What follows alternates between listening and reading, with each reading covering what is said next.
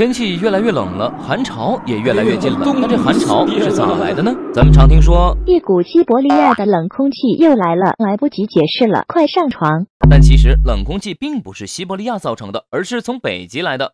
冷空气们也怕冷，一路向南到了西伯利亚大平原，打算在这定居。可北极造的冷空气贼多，没过多久，这西伯利亚就堆满了冷空气。于是这些多余的冷空气组成了一股寒潮，继续一路向南找地儿住。他们跨过了山和蒙古高原，穿过了人山人海，终于来到了咱们中国，给咱们造成了寒潮。兄弟们，前面就是中国了，冲啊！